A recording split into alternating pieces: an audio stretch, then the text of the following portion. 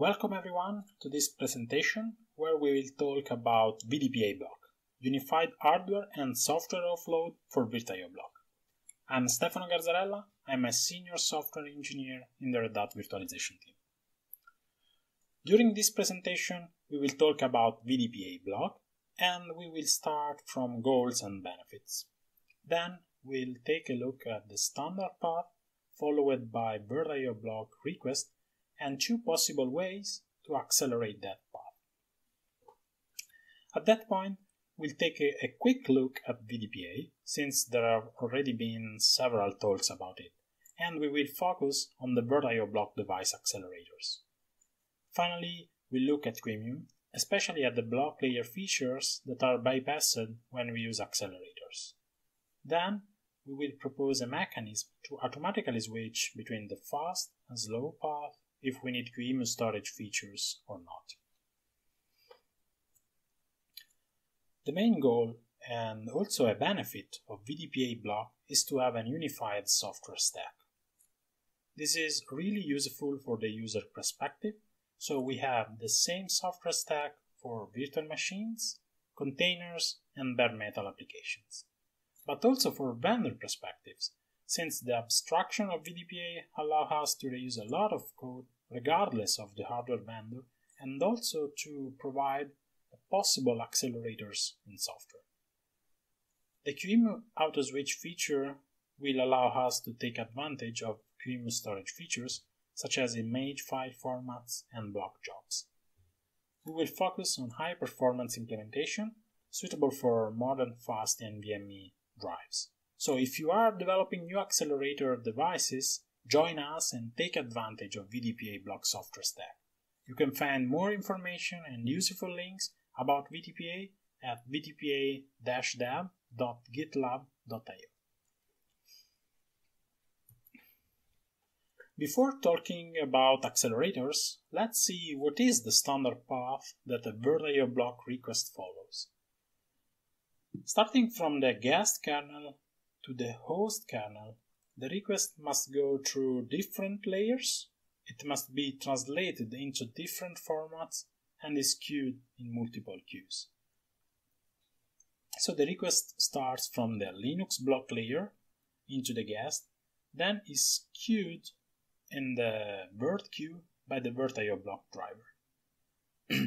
in QEMU, the device emulator receives the request and queues it in the QEMU block layer, where at the end is handled by the asynchronous I.O. engine that can be Linux AIO or IOUring.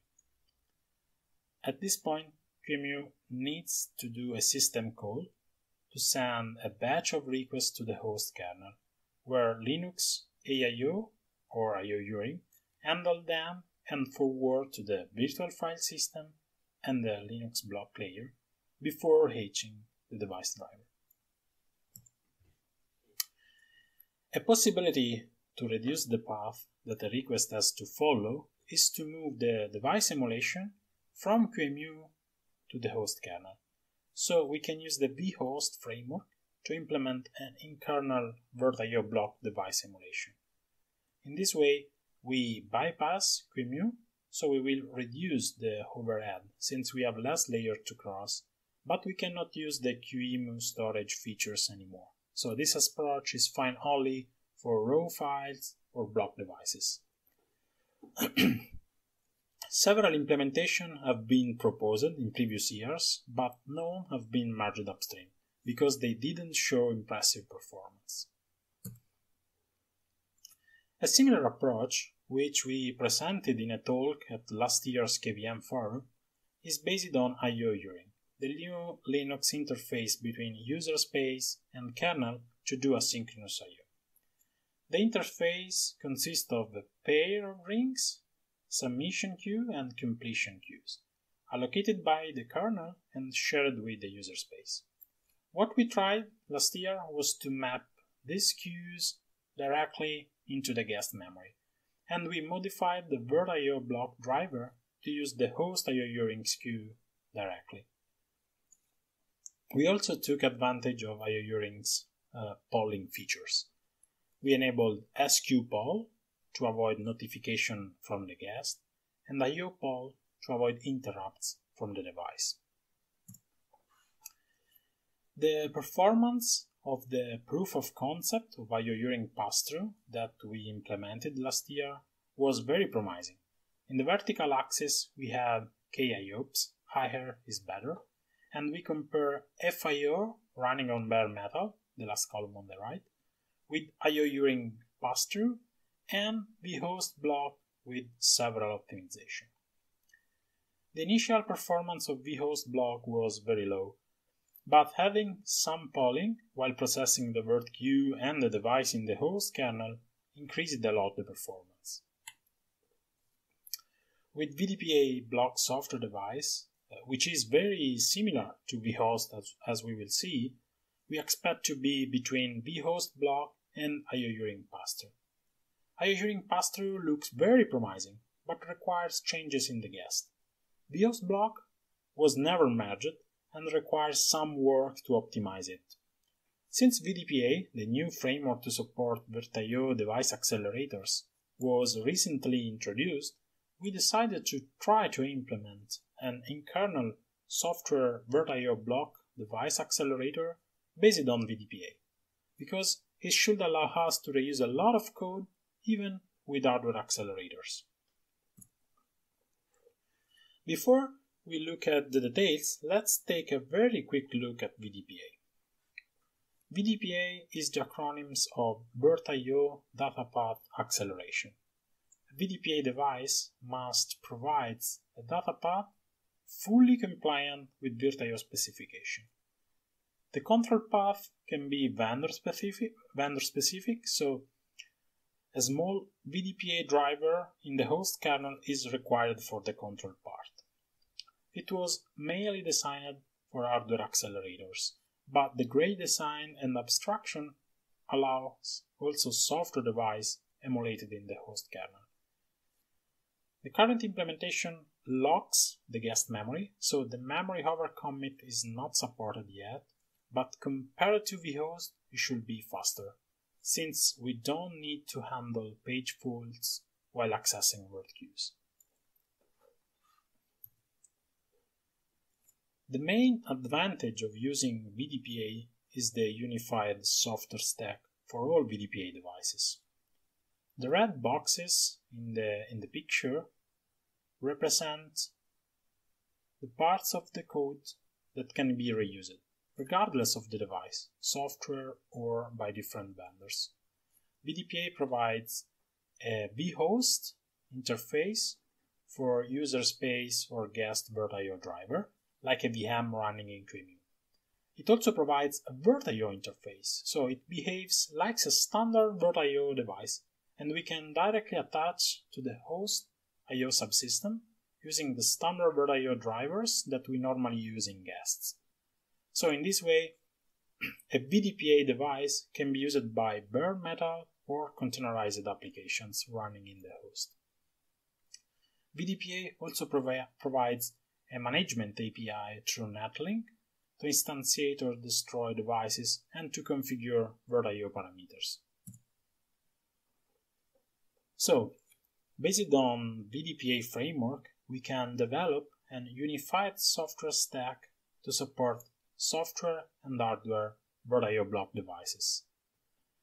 Guests don't need any changes since the exported interface is fully compliant with VirtIO block specification. The QEMU code and the VDPA framework code in the host kernel can be reused for both software and hardware devices. The custom code that we need is a small VDPA parent driver for each hardware device, such as custom hardware by a vendor or SmartNICs and FPGA. This driver will be used only for the control path. For the software device, of course, we need to implement the device emulator in the host kernel. We will base the implementation of VDPA block software device on our experience with IO Uring pass-through and the optimization of vhost block that we have seen. The device will interface directly with the Linux virtual file system as Linux AIO and IOUring do. This allows both block devices, physical NVMe for example, or a network block device, but also raw files stored on a file system to be used as backend. Eventually, it can be used also as a fallback when hardware accelerators are not available. We will also support dynamic polling strategy that we have been that we have seen have helped a lot to increase the performance of vhost block. So we will have a virt queue polling similar to IOUring sqpoll. The device will poll for a while the virt queue to check if there are new requests. In this way, the guest can potentially submit a I.O. without VM exit and we will support the I.O. polling feature of the Linux block layer. This feature must be supported by devices and file system, and it allows to do busy wait for I.O. completion, avoiding asynchronous interrupts from the device. The VDPA Management API will provide a standard way to create and destroy the device and to set up the VirtIO parameters defined by the specification, such as the virt queue parameters, for example queue size, and the VirtIO block configuration. We will also need to provide custom API for the VDPA software device to attach it to a block device or a raw file, and also to set up parameters related to the implementation, such as to control the polling mechanism. all the accelerator we have seen so far, starting from vhost block, IOUring pass-through, and the VDPA block software or hardware devices bypass the QEMU block layer. This can be fine when we want to take full advantage of the performance of hardware or software accelerator. As we have seen in these cases, bypassing QEMU the accelerator have direct access to the guest queue for the best possible performance, avoiding several layers, translations, and queuing. But often we may need QEMU to process requests because we need the storage virtualization features provided by the QEMU block layer, such as image file formats, I/O throttling, snapshot, encryption, incremental backup, and other useful features. So what we would like to do in QEMU is an automatic switching mechanism. We will use the fast path by passing QEMU when we don't need the QEMU storage features and we need the best possible performance using VDPA block hardware accelerator or software device attached to raw files or block devices. As we have seen in this case, the queues are directly exposed to the accelerator. But we may need QEMU to process requests, because for example we need a QEMU storage feature or to overcommit the guest RAM that is not supported for now by VDPA devices, or we need to live migrate a VM. At this point, we will switch from the fast path to the slow path, where QEMU starts to process the guest queue. We are already available to do this because we have the VirtIO block device emulation in QEMU. What we need to add is the interface with VDPA block device. A very interesting approach was already proposed by Eugenio, primarily to solve the problem of live migrating VMs with VDPA devices. In this case, QEMU allocates a new virt queue, which we call shadow virt queue and expose it to the VDPA device. This gives QEMU complete control of the guest to perform the migration, but it also allows QEMU to intercept requests and process them in the QEMU block layer, applying functionality requested by the user.